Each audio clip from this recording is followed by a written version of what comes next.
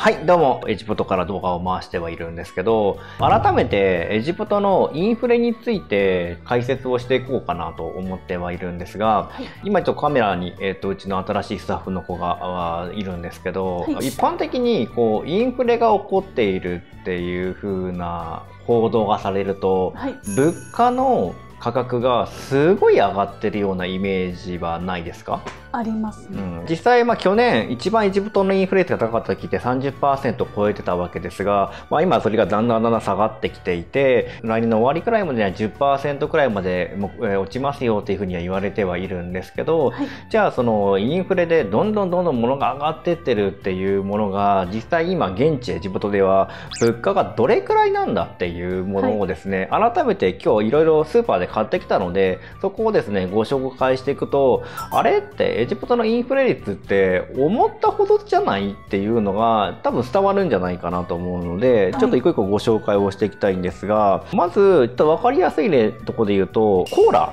これはもちろんこれスーパーによってもちょっと値段が違うのでえっと、エジプトの値段がこれが全て同じってわけではなくて、はい、一般的なこちらのスーパー、今日ご紹介するものが、うちの近所にあるルルハイパーマーケットっていうスーパーマーケットなんですけど、まあ、そこで買ってきた、まあ、いわゆる日本で言うとイオンさんみたいな感じのスーパーかな。まあ、結構ポピュラーな感じのスーパーなんですけど、そこの値段を、えっと参考に今ご紹介の方はしていきますが、これが今エジプトで30エジプトポンド。はいこれ一応日本の金額を調べてみたんですが日本だと192円税込みで、はい、これはえっと日本の、まあ、大体のスーパーの値段っていうことですよね。そうですね、はい。まあ、あくまで参考価格っていうふうに見てもらえたらなのでこの1.5リットルのコーラがエジプトだと30エジプトポンド、はい、で90円で買えますっていうところね。ちょっとどんどん次行ってみたいと思いますが。あとは比較しやすいのがお水。これえっと日本だと500ミリリットルのペットトボトルが多いと思うんですけどエジプトのお水は500ではなくて 600ml のお水になっていくのでちょっとその辺の差はあるんですけどこれがエジプトの場合ですと5エジプトポンドで日本で買うと105円くらいですか？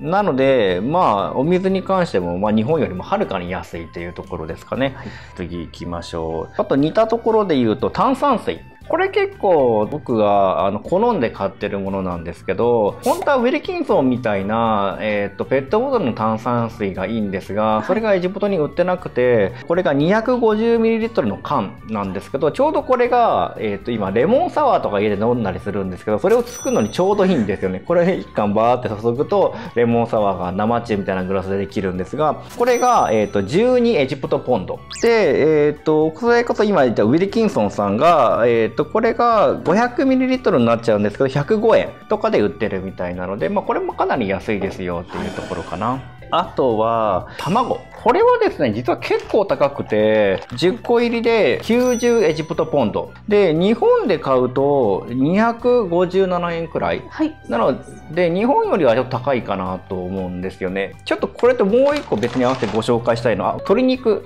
鶏肉もですね意外と高くてこれ今鶏肉のもも肉なんですけど、これが、えー、と1キロで328エジプトポンド。日本で買うと 100g あたり138円。キロで1380円なので、日本よりはちょっと安いですが、結構日本と近い金額なのかなっていう。はい、これでも理由があって、卵も鶏肉も同じ鶏でしょ、はい、これなんで高くなっちゃってるかっていうと、はい、この鶏肉の餌代が穀物なんだけど、穀物を輸入してこないといけなくてその穀物代金が世界的に上がってるんだよね。だからそれに伴ってこの辺に関してはエジプトの金額っていうよりはグローバル価格になってるというか穀物のまあ餌代金がもうそのままもろにここに反映されてしまってるっていうのが実態ではあるけどめちゃめちゃ高いかってそうでもないんですが、ね、エジプトの物価の中にはちょ中ではちょっと突出して高いかなっていう印象はあるところですね、はい、どんどん行きたいんですがあとは結構日本人にとってみては重要なんですがお米。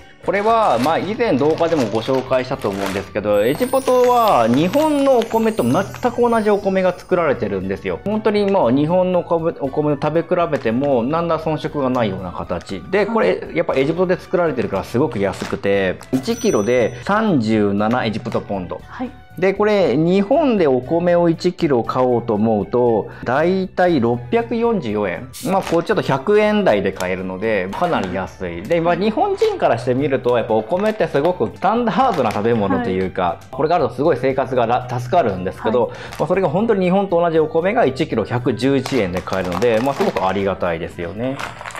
あとは紹介していきたいの牛乳かな？この牛乳が、これも多分ちょっと高いかもしれないですね。えっと、1リットルで50エジプトポンド。はい、日本で買うと246円なので、まあ、日本よりは安いけども、ね、エジプトの物価にすると高いかなっていう。はいでもやっぱこれがなんでこうなっちゃうのかっていうと、なぜこれコーラよりも高いってことでしょなんでかっていうと、やっぱ牛さんの餌代だよね。はい、やっぱ穀物が使われてるから、やっぱ輸入してくるものに関してやっぱ軒並み値段が上がってきてしまってるっていうのが現状としてあるかなっていうとこですね。はい、あとは、キャベツ。エジプトのキャベツは、これ比較的ちょっと小さい方なんですけど、はい、やっぱでかい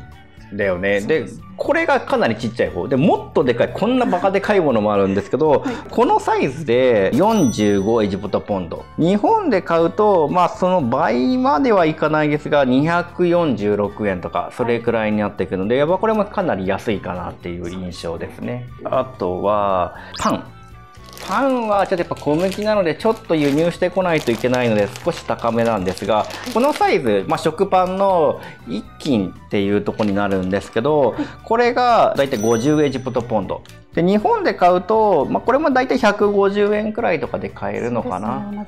なので同じような金額、まあ、だからやっぱ共通してるのはエジプトの中で作られてるものは比較的やっぱり安い、はい、ただやっぱり輸入してくるものに関しては餌代とかいろんなものが高くなっちゃうので、はい、そこに関してはやっぱ値段が結構グローバル基準っていうかグローバルな価格に近づいてるのかなっていうそんな印象ですよね。あとはもうこれエジプトといえばマンゴー。もうエジプトはですねマンゴーの聖地って言われてるくらいマンゴーがまあ本当に美味しい。太陽のフルーツとも言われてるくらいなので、やっぱりこう日照時間が長いところ、エジプトは雨が降らないので、すごく甘くなるんですが、ちょっとこれ高級マンゴーです。まあマンゴーの種類もすごいいっぱいあるので、いろんな種類があるんですけど、これですね、まあ本当に甘い。本当に甘くて美味しいんですけど、日本のマンゴーでも有名なところで太陽のマンゴーさんって、はい、まあすごい高いものはあるんですけど、でもちろんあれも食べたことがあって、あれも素晴らしく美味しいんですよ。めちゃめちゃ美味しいんですけど、はい、でも絶対にこっちの地元のマンゴーの方が美味しいです。これが、えっ、ー、と、これかなり高級マンゴーなんですけど、1キロ44エジプトポンド。これ今4つマンゴーがあるんですね。はい、この同じようなサイズが。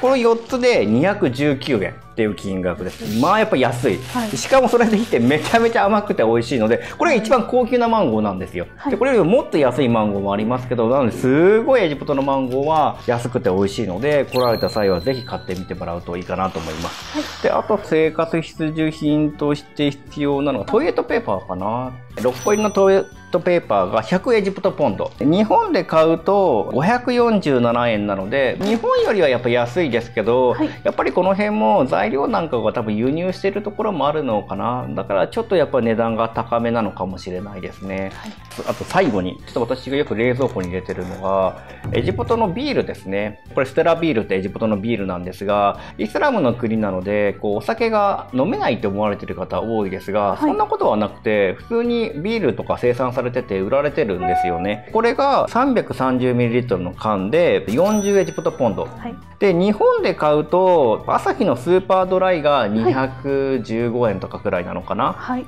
なので、まあ半分くらいで買えますよっていう、はい、まあすごくお酒が好きな方からしてみたら、私みたいな人間からするとありがたい存在ではあるんですけど、大体それがこうエジプトの今のこう物価事情になってきますよっていうことですね。で、やっぱここでお伝えしたいのが、実際事実としてお伝えするのであれば、やっぱ去年エジプトで通貨の切り下げがあったの。で、なので、やっぱ輸入品なんかも全部軒並み上がっちゃうんですよね。なんで結果的にインフレ率が高くなってしまったっていうことは事実は事実なんですけど、はい、とは言ってもなんですよね。やっぱ元々のエジプトの金額ってすごく安い。はい、で今インフレ率がじゃあ30%になったものが今20何パーまで落ちてきてますけど、それこそお水なんて100円もしないわけだし、コーラだと100円もしないっていう、これがエジプトの物価なので、もともとが安いから、インフレ率で上がったとはいえなんだよね。はいで例えばアメリカみたいにもうすでに、えー、とスターバックス行ってカフェラテが1杯1000円だったものが、はいそれがインフレ率が30%になると1300円とかなっちゃうわわけじゃん。そうなるともう結構やっぱ大変ですって話だけどでももともとがクソ安かったものが じゃあそれがちょっと上がったからといってとは言ってもまだまだ安いですよねっていう話なんだよね。そう考